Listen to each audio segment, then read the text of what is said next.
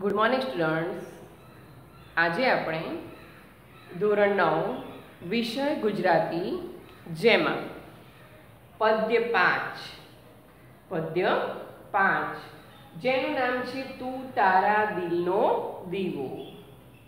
તું તારા દિલનો દીવો. અને કવિનું નામ છે ભોગીલાલ ગાંધી. કવિનું નામ ભોગીલાલ ગાંધી છે. અને સાહિત્ય પ્રકાર છે ઉર્મી કાવ્ય. તો તું તારા દિલનો દીવો, કાવ્યનો સાહિત્ય પ્રકાર ઉર્મી કાવ્ય છે. તો આ તમારે યાદ રાખવાનું છે. તો હવે પદ્યનું નામ આપ્યું છે કે તું તારા દિલનો દીવો થા. તો એનો અર્થ શું થાય તે આપણે જોઈએ. તો તમારામાં રહેલી જે આત્મશક્તિ છે, તમારું બળ છે, તાકાત છે, તે પ્રમાણે તમારે કામ કરવાનું છે. તો તમારી જે તાકાત છે, એનો તમારે ઉપયોગ કરવાનો છે. ભીતરની શક્તિને બહાર લાવવાનો પ્રયત્ન કરવાનો છે. બીજાની આશા રાખવાની નથી.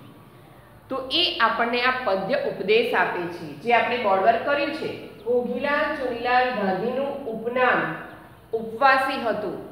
ખાસ યાદ રાખવાનું છે, એક્ઝામમાં પૂછાય છે. ભોગીલાલ ચુનીલાલ ગાંધી, જેમનું ઉપનામ ઉપવાસી હતું. અથવા તો ટૂંકમાં લખ્યું હોય, ભોગીલાલ ગાંધીનું ઉપનામ શું હતું? તો ઉપવાસી. તો બીજું નામ તેમનું ઉપવાસી હતું, ઉપનામ ઉપવાસી હતું. તમારે યાદ રાખવાનું છે. ખાલી જગ્યામાં પૂછાય, એક વાક્યના ક્વેશ્ચનમાં પૂછાય કે વિકલ્પમાં પૂછાય? તો તમને આન્સર આવડવો જોઈએ. હવે આપણે આ કાવ્યમાં શું કહેવા માંગીએ છીએ? તો આ કાવ્યમાં આત્મશક્તિ પ્રગટાવવાની હિમાયત છે. કહ્યું ને મેં કે તું તારા દિલનો દીવો થા. તો એનો અર્થ શું થયો? કારણ કે જે હેડિંગ ટાઇટલ આપ્યું છે તેનો અર્થ આપણને પદ્યમાં શું કહેવા માંગે છે એ સમજાવે છે. તો આપણે એ લખ્યું છે કે આત્મશક્તિ પ્રગટાવવાની હિમાયત. તો તમારામાં જે શક્તિ છે, તાકાત છે, બળ છે, તે બહાર લાવવા માટે પ્રયત્ન કરો. એ આપણને સમજાવે છે. કવિએ પોતાની ભીતરની શક્તિઓને ઓળખવા અને પ્રગટાવવા પર ભાર મૂક્યો છે. લખ્યું છે ને મેં બોર્ડ પર? કવિએ પોતાની ભીતરની ભીતરની એટલે કે અંદરની આપણી જે તાકાત છે ને તેની વાત છે. અંદરની જે શક્તિ છે તેની વાત છે. ભીતર એટલે કે અંદર. તો આપણામાં રહેલી શક્તિ બહાર લાવવાની વાત છે. તો શક્તિઓને ઓળખવાને પ્રગટાવવા પર ભાર મૂક્યો છે. ત્યાર પછી આપણને અહીંયા શબ્દાર્થ આપેલા છે, જે પુસ્તકમાં આપ્યા છે, એમાંથી શબ્દ લખ્યા છે. ઉછીના લેવા એટલે ઉધાર લેવું. પારકા એટલે બીજાના. આપણે કહીએ ને કે પારકા છે, તો બીજાના. તેજ રાયા પ્રકાશના રાજાઓ. તેજ રાયા એટલે પ્રકાશના રાજાઓ. અને આતમ શબ્દ છે એટલે આત્મા. તો આતમ એટલે આત્મા. એવો અર્થ થાય છે. તો પેજ નંબર પંદર. પેજ નંબર પંદર ઉપર તમારે ધ્યાન રાખવાનું છે. પદ્ય પાંચ, તું તારા દિલનો દીવો, ભોગીલાલ ગાંધી. અને સાહિત્ય પ્રકાર ઉર્મી કાવ્ય. એકદમ ટૂંકમાં કાવ્ય આપ્યું છે અને સરસ મજાનું કાવ્ય છે. તો પહેલાં આપણે પ્રસ્તાવના જોઈએ છીએ. પ્રસ્તાવનામાં પહેલો પેરેગ્રાફ કવિ વિશે છે. બીજો પેરેગ્રાફ પદ્યમાં શું કહેવા માંગે છે તેનો આપણને પરિચય કરાવે છે. અને ત્યારબાદ આપણે પદ્યની પંક્તિઓમાં અભ્યાસ કરીશું. તો ભોગીલાલ ગાંધીનો જન્મ લખ્યું છે, અવસાન લખ્યું છે તે જોઈએ. છવ્વીસ એક ઓગણીસો ને અગિયાર, એમનો જન્મ. અવસાન દસ સાત બે હજાર એકમાં થયું તો ભોગીલાલ ચુનીલાલ ગાંધીનું ઉપનામ ઉપવાસી તમારે વાક્ય નીચે અંડરલાઈન કરવાની છે. અને બોર્ડ પર પણ મેં લખ્યું છે, તે તમારે બોર્ડ પર જે કર્યું છે નોટબુકમાં સારાક્ષરે લખવાનું છે. તો ચુનીલાલ ગાંધીનું, ભોગીલાલ ચુનીલાલ ગાંધીનું ઉપનામ ઉપવાસી. વાક્ય નીચે અંડરલાઈન કરો. તેઓ અરવલ્લી જિલ્લાના મોડાસાના વતની હતા. તેઓ અરવલ્લી જિલ્લાના મોડાસાના વતની હતા. વાક્ય નીચે અંડરલાઈન કરવાની છે. જેલવાસ દરમિયાન માર્ક્સવાદી સાહિત્યનું વાંચન. તેમણે ગુજરાત પ્રગતિશીલ લેખક મંડળનું સંચાલન અને વિશ્વ માનવ માસિકનું સંપાદન, માસિક. તો મહિનામાં એકવાર આવે મંથલી મહિનામાં એકવાર જે આવે, તેનું સંપાદન દીર્ઘકાળ સુધી કર્યું. જ્ઞાન ગંગોત્રી. ગ્રંથ શ્રેણીનું સંપાદન એ તેમનું મહત્વનું પ્રદાન છે. તો આ એમનો પરિચય આપ્યો, લેખકનો, કવિનો પરિચય આપણે જોયો. ત્યાર પછી લખ્યું છે, તેમણે કવિતા, નવલિકા નિબંધ વિવેચન અને અભ્યાસ ગ્રંથો તથા સંપાદન અને અનુવાદના એંસી જેટલા પુસ્તકો આપ્યા છે. હવે પદ્યમાં શું કહેવા માંગીએ છીએ તે આપણે જોઈએ. આ કાવ્યમાં આત્મશક્તિ પ્રગટાવવાની હિમાયત છે. લખ્યું છે ને મેં બોર્ડ વર્ક કર્યું છે, તમારે વાક્ય નીચે અંડરલાઇન કરવાની છે, પેન્સિલથી. આ કાવ્યમાં આત્મશક્તિ પ્રગટાવવાની હિમાયત છે. જેમ દીવો પોતાના દિવેલથી જ બળે છે. શું કહ્યું આપણને? કે જેમ દીવો એની અંદર જે પૂરવામાં આવેલું છે ને, તે દિવેલથી જ એ બળે છે. એમ નમ બળે નહીં. તો દીવો પોતાના દિવેલથી જ બળે છે.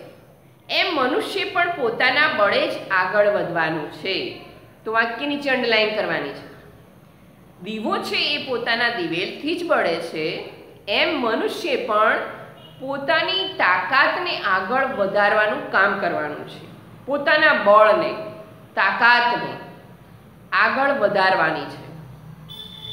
ભીતર રહેલી શક્તિઓના બળે આગળ વધે છે, તે સાચો પ્રકાશ પાથરી શકે છે. કહ્યું છે ને? કે ભીતર રહેલી શક્તિઓ, તો આપણા અંદર જે ભીતરમાં રહેલી, અંદર રહેલી શક્તિઓ છે ને, એના બળે આગળ વધે છે. તે જ સાચો પ્રકાશ પાથરી શકે છે અને તે જ સાચો પ્રકાશ છે. પારકા પાસેથી લીધેલું તેજ કે મદદ. બીજાની પાસેથી તમે પારકા પાસેથી લીધેલું તેજ, પારકા પાસેથી પ્રકાશ લો ને, કે મદદ આપણા માટે ઉપયોગી નીવડતા નથી. બીજા પાસેથી મદદ લઈએ તો એ આપણા માટે કંઈ ઉપયોગી નીવડે નહીં. એ આપણા માટે ઉપયોગ થાય એમ બની શકે નહીં. પારખું તો ખૂટી જાય છે અને પારકું એ ખૂટી જાય છે એટલે કે ઓછું થઈ જાય છે. ખૂટી જાય છે એટલે ઓછું થઈ જાય છે. ખરું તેજ આપણી ભીતર છે. અને ખરું તેજ છે ને, તે આપણી અંદર છે, ભીતર છે. તેમાંથી ખરી રંગ માયા પ્રગટે છે. અને તેની અંદરથી જ ખરી રંગ માયા પ્રગટે છે. રંગ માયા એટલે રંગની લીલા. આભમાં ભલે સૂરજચંદ્રનું ભરપૂર તેજ હોય આભમાં એટલે કે આકાશમાં. ભલે ને સૂર્ય અને ચંદ્રનું ભરપૂર તેજ હોય, આપણે આપણું તેજ પ્રગટાવીશું નહીં. સૂર્ય અને ચંદ્રનું તેજ પ્રકાશ ભલે આકાશમાં હોય, પણ આપણે આપણું તેજ પ્રગટાવીશું નહીં. ત્યાં સુધી પારકું તેજ આપણા ખપનું નથી. અને ત્યાં સુધી પારકું એટલે કે બીજાનું છે તેજ છે, બીજાનો પ્રકાશ છે, તે આપણા ખપનું નથી એટલે કે આપણી જરૂરિયાતનું નથી. એ આપણા શું કામનું? એ આપણી જરૂરિયાતનું છે તો નથી ખપનું નથી, જરૂરિયાતનું નથી. કવિએ પોતાની ભીતરની શક્તિઓને, કવિએ આપણી પોતાની ભીતરની અંદરની શક્તિઓને ઓળખવા અને પ્રગટાવવા. ઓળખવા અને પ્રગટાવવા. પર ભાર મૂક્યો છે. ભાર મૂકેલો છે. પ્રહલાદ પારેખનું આપણે ભરોસે. પ્રહલાદ પારેખનું આપણે ભરોસે કાવ્ય. વાક્ય નીચે અંડરલાઈન કરવાની છે. આ કાવ્ય સાથે સરખાવવા જેવું છે. પ્રહલાદ પારેખનું આપણે ભરોસે. તો આપણે ભરોસે એટલે કે આપણી શક્તિનો ઉપયોગ કરીને આપણે કામ કરવાનું છે. તો આપણે ભરોસે આપણે ચાલવાનું છે. તો આપણી શક્તિઓને બહાર લાવવાની છે. બીજાની આશા રાખવાની નથી. તો આપણે ભરોસે કાવ્ય કાવ્ય સાથે સરખાવવા જેવું છે. કયા કાવ્ય સાથે?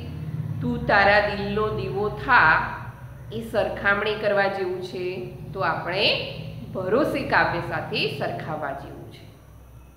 તો આ વાક્ય નીચે તમારે ખાસ અંડરલાઈન કરવાની છે. હવે આપણે જોઈએ પંક્તિમાં. એ પહેલાં આપણે શબ્દાર્થ પુસ્તકમાં જે આપ્યા છે ને, તે આપણે જોઈ લઈએ. ભાયા શબ્દ છે ભાઈ પારકા એટલે અન્ય, છાયા એટલે છાંયડો. આશરો, રક્ષણ પણ કહી શકાય. સર્વ એટલે બધા. ચંદ્ર એટલે શશી, મયંક, સુધાકર. આબ આબ એટલે આકાશ નભ ગગન એમ પણ કહી શકાય. રંગમાયા, રંગની લીલા. તેજ રાયા તેજના રાજવીઓ. તેજના રાજવીઓ. તો પ્રકાશના રાજવીઓ તો આપણે તારા પણ કહી શકીએ. વિરુદ્ધાર્થી શબ્દ આપ્યા છે. કાચું પાકું પ્રગટાવવું, ઓલવવું, બુજાવવું પણ કહી શકાય વિરોધી. પોતાના તો પારકા. તળપદા શબ્દ પરગટવું. તો પરગટવું લખ્યું છે. તો પ્રગટવું. પ્રગટવું. ઓલવવું તો બુજાવ આતમ ઓલવ બુજાવ વિરુદ્ધાર્થી શબ્દ છે. આપણે તળપદા શબ્દ જોયા. પરગટવું તો પ્રગટવું અને આતમ તો આત્મા અને વીણ એટલે વિના તો એકદમ સરળ શબ્દમાં આ કાવ્ય આપેલું છે. હવે આપણે કાવ્યની શરૂઆત કરીએ છીએ. તમારે એક એક વાક્યમાં ધ્યાન રાખવાનું છે. તમને સમજાવીશ. તું તારા દિલનો દીવો થાને. ઓરે ઓરે ઓ ભાયા. શું કહ્યું છે? ભાયા એટલે ભાઈ. ઓરે ઓરે ઓ ભાઈ. તું તારા દિલનો દીવો થાને. તું તારા દિલનો ઉદ્ધારક બન. શું કહ્યું છે? તું તારો ઉદ્ધારક બન. તારો પોતાનો જ તું ઉદ્ધારક બન. ઉદ્ધાર કરનાર બન. દિલનો દીવો થા એટલે કે તું જ તારો ઉદ્ધારક બન. તારો ઉદ્ધાર કરવા માટે તું જ પ્રયત્ન કર. બીજાની આશા રાખીશ નહીં. ફરીથી, તું તારા દિલનો દીવો થાને એટલે કે તું તારો ઉદ્ધારક બન. આ તમારે ખાસ યાદ રાખવાનું છે. બીજી પંક્તિ જોઈએ. રખે કદી તું ઉછીના લેતો, પારકા તેજને છાયા. રખે કદી તું ઉછીના લેતો ઉછીના લેતો. આપણે બોર્ડ પર લખ્યું છે કે બીજા પાસેથી લેવા.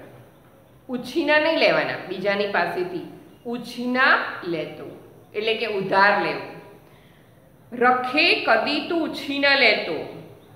એટલે કે છે કે તું ક્યારે ઉછીના લેતો નહીં. ઉધાર કોઈની પાસેથી લેતો નહીં. પારકા તેજ ને છાયા. પારકા તેજ અને છાયા. છાયા એટલે છાયડો. તેજ એટલે પ્રકાશ.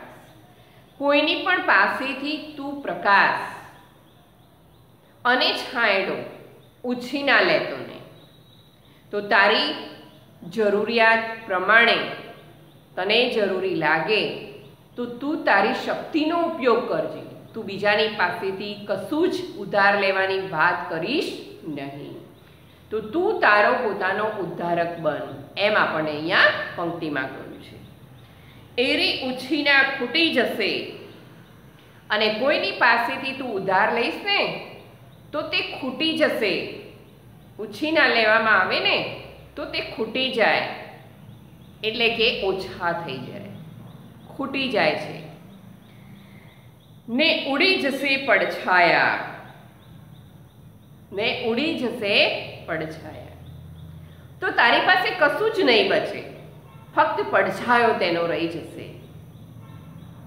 તું કોઈની પાસેથી લેવાની આશા રાખીશ નહીં. ઉધાર લેવાની આશા રાખીશ નહીં. તારી પાસે જે છે, તેનો ઉપયોગ કરી અને તું તું જ જાતે પોતાનો ઉદ્ધારક બન. તારી અંદરની, તારા આત્માની શક્તિઓને તું જગાવ. તારામાં રહેલું બળ છે, અંદર રહેલું બળ છે, તાકાત છે, તેને તું બહાર લાવ. એટલે કે બીજાની પાસે કોઈ જ આશા રાખીશ નહીં. બીજાની પાસેથી લેવાની આશા રાખીશ ને. તો એ હંમેશા ખૂટશે જ. એ હંમેશા ખૂટી જશે. અને એ તારા માટે પડછાયારૂપ બની જશે. તારી પાસે કશું જ બચશે નહીં. ઓરે ઓરે, ઓ ભાયા, તું. ત્યાર પછીની પંક્તિ છે. કોડિયું તારું કાચી માટીનું. કોડિયું તારું કાચી માટીનું. તો માટીનું જે સકોરું છે. જે છાલિયું આપણે કહીએ છીએ. શું કહ્યું છે? કાચી માટીનું, કા કોડિયું તારું કાચી માટીનું. તો જે સકોરું છે કાચી માટીનું છે, તેલ દિવેલ છુપાયા. અને એ સકોરાની અંદર તેલ, દિવેલ રહેલું છે. નાની સી સળી અડીને અડી પ્રગટશે. નાની એવી સળી, એટલે કે જે આપણે દીવો પ્રગટાવીએ છીએ, એ સળીથી સળગાવીને દીવો પ્રગટાવીએ છીએ.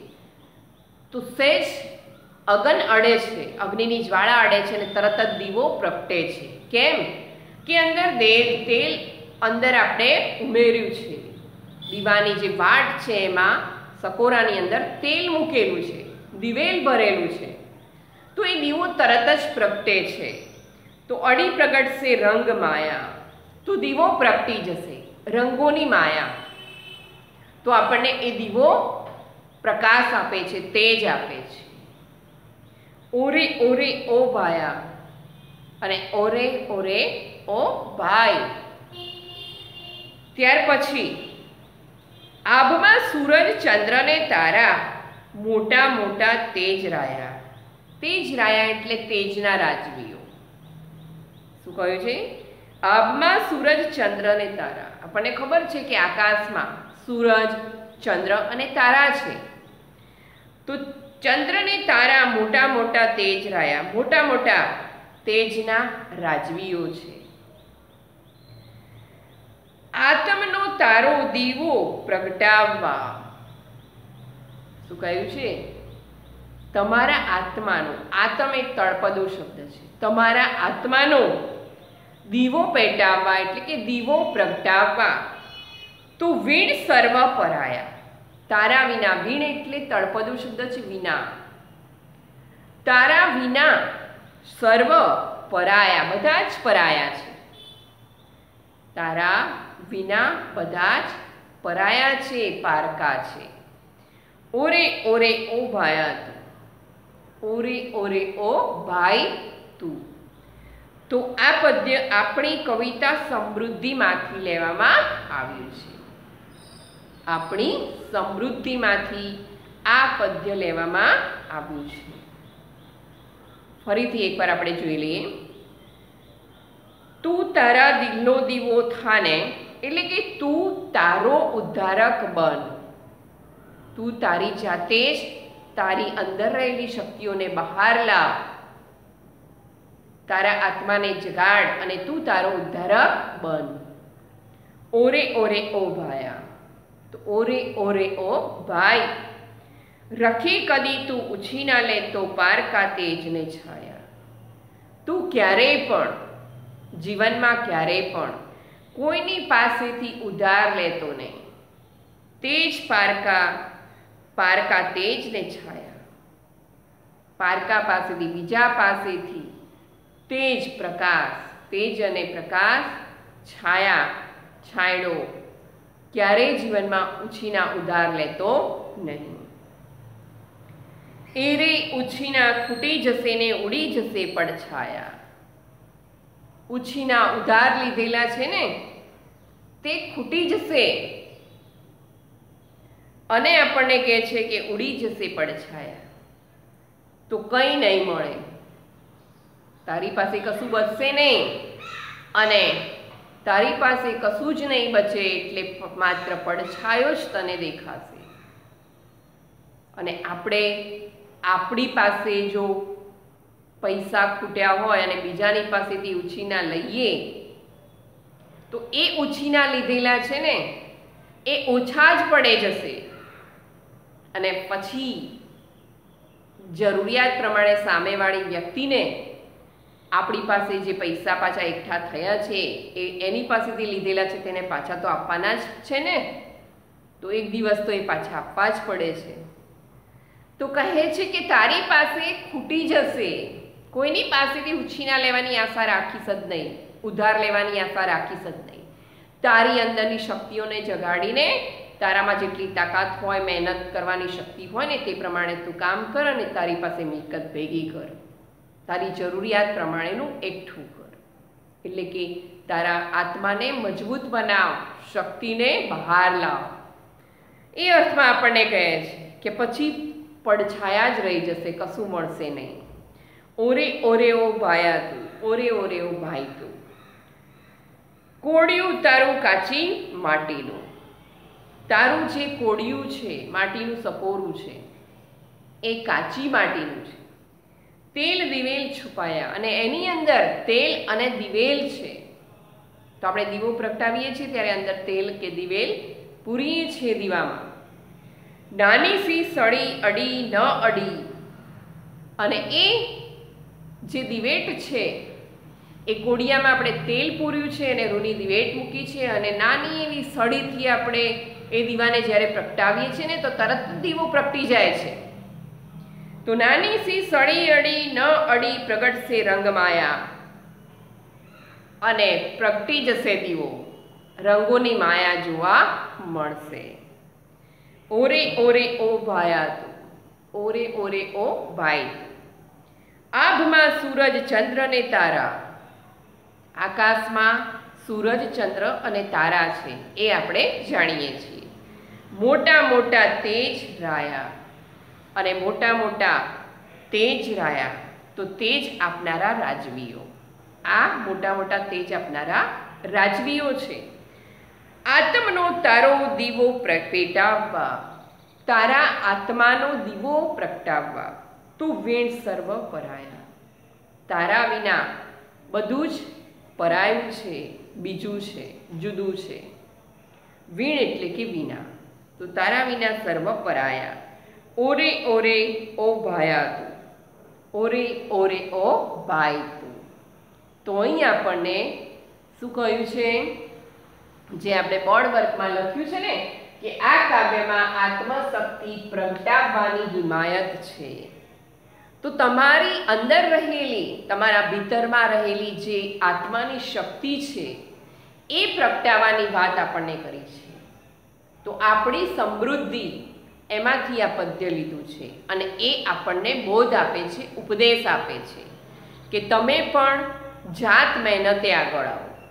તમારા અંદર રહેલી જે શક્તિ છે, બળ છે, તેને બહાર લાવવાનો પ્રયત્ન કરો. તમારી આત્માની શક્તિને બહાર લાવો, બીજા પાસેથી કોઈ આશા રાખશો નહીં. તો મને, તમને બધાને આ ઉપદેશ આ કાવ્ય પરથી મળે છે. તો ગુજરાતીમાં, હિન્દીમાં કોઈ પણ ભાષાના વિષયમાં કોઈ પણ પાઠ કે પદ્ય હોય છે ને, તો એ એમને આપેલા નથી હોતા કવિ કે લેખકે. એ આપણને જીવનમાં બોધ આપે છે, ઉપદેશ આપે છે. જીવન જીવવામાં આપણને ઘણો બધો જ્ઞાનનો ઉપદેશ પ્રાપ્ત થાય છે. એટલે કોઈ પણ પદ્ય છે કે કોઈ પણ પાઠ છે, એ ઘણું બધું આપણને જ્ઞાન આપે છે. એક તમારે ખાસ યાદ રાખવાનું. તો આજે આપણે પદ્ય પાંચ, તું તારા દિલનો દીવો થા, તેના વિશે અભ્યાસ કર્યો. અને તમારે એકવાર પદ્ય વાંચી જવાનું છે, જેથી કરીને તમને વીડિયો લેક્ચર જોયા પછી વાંચી જવાનું. તરત જ તમને ખ્યાલ આવી જશે કે આત્મશક્તિ બહાર લાવવા માટે આપણને બોધ આપ્યું છે, એટલે કે આ પદ્યમાં શું કહેવા માંગે છે તેનો તરત ખ્યાલ તમને આવી જશે. એકદમ સરળ શબ્દમાં પદ્ય આપ્યું છે. શબ્દો અઘરા નથી. અને એકદમ ટૂંકું પદ્ય છે.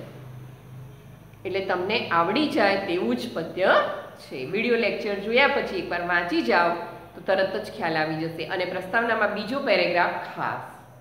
એ તમને પદ્યમાં શું કહેવા માંગે છે તેનો તરત ખ્યાલ આપી દેશે. અને ભોગીલાલ ચુનીલાલ ગાંધીનું ઉપનામ ઉપવાસી હતું એ તમારે ખાસ યાદ રાખવાનું છે. ક્વેશ્ચન પૂછાય ખાલી જગ્યામાં, વિકલ્પમાં કે એક એક વાક્યના ક્વેશ્ચનમાં તો અહીં પદ્ય પાંચ આપણે પૂરું કર્યું. પછીના લેક્ચરમાં આપણે તેનો સ્વાધ્યાય જોઈશું. તો આગળના લેક્ચરમાં આપણે ફરી મળીશું. Good day